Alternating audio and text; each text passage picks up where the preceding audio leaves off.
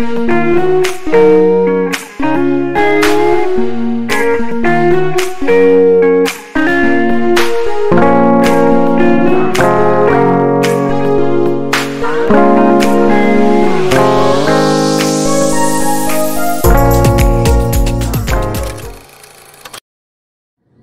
guys! Welcome back to my channel. My name is Belin.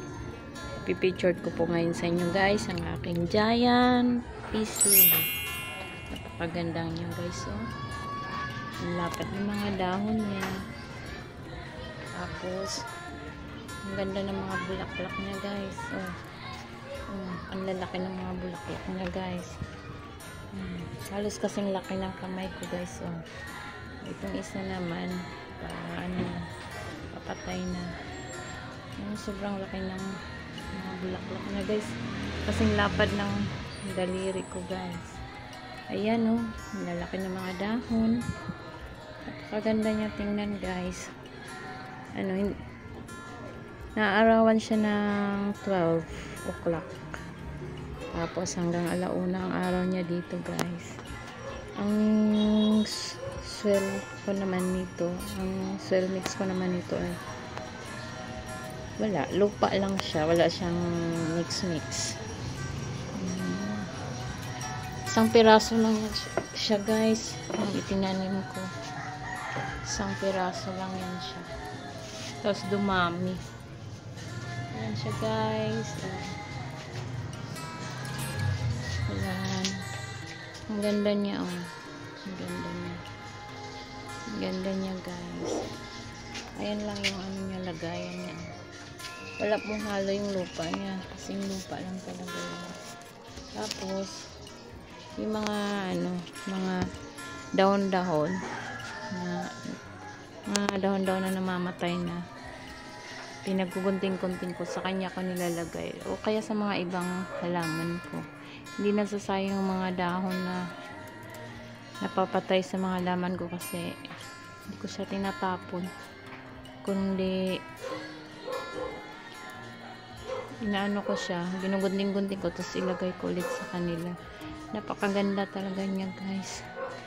Sobrang ganda ng ano ko ang aking ang aking peace lily na giant giant peace lily. Bilib na bilib ako sa kanya guys. Dumami siya. Oh mahilig ako mag-alaga ng maliit pa. Kasi ayaw ko ng malaki na. Kasi mas mas gusto ko yung maliit pa siya akong nag-alaga para malaman ko kung ano yung mga ano niya. Yung mga behavior niya. Tapos napalaki ko siyang ganyan guys. Oh sobrang laki ng ano niya. Sobrang laki ng kanya. Bulaklak so grabing ganda tuwang to yung mga nakakita nito guys. Kasi sobrang laki. Yan lang guys ang aking peace lily giant. Tapos mayroon din akong peace lily na variegated. Namumulaklak na din siya. Ito siya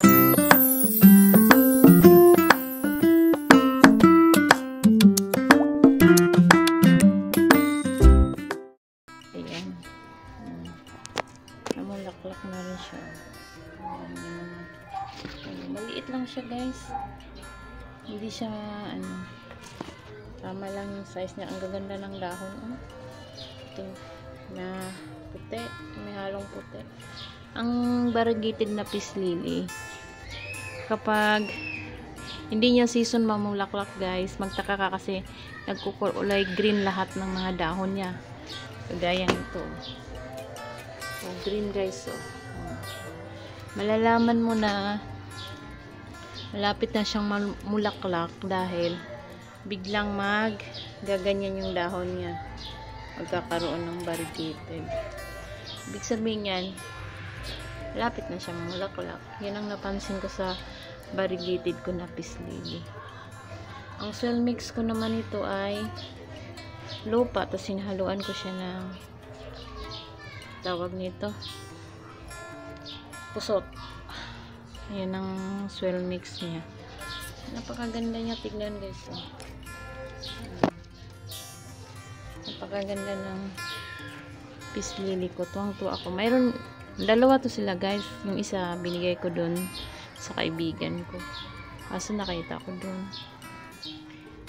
Hindi, hindi siya ano dun, namulaklak din siya dun.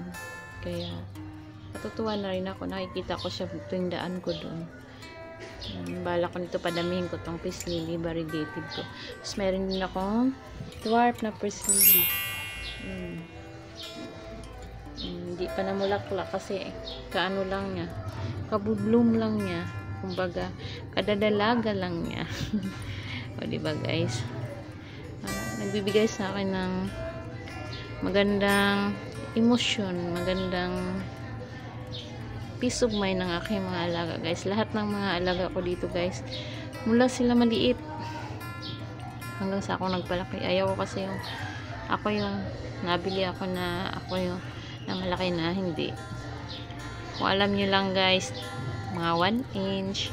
Yun ang laki niya, isang dahon lang. Mas napapaganda kasi. Pansin ko guys, sa variegated na pislini, tingnan niya siya oh.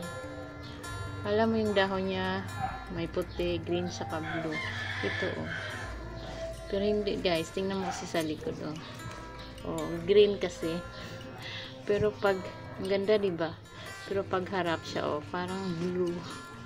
No? Napaka-amazing talaga guys ang mga halaman. Isa to sa mga paborito ko din. Bukod sa ang puti-puti ng mga bulaklak niya, pure na pure. Ganda ng pagka-variegated niya, no? Miss na miss ako sa mga pisligi. At swerte din to sa bahay, guys.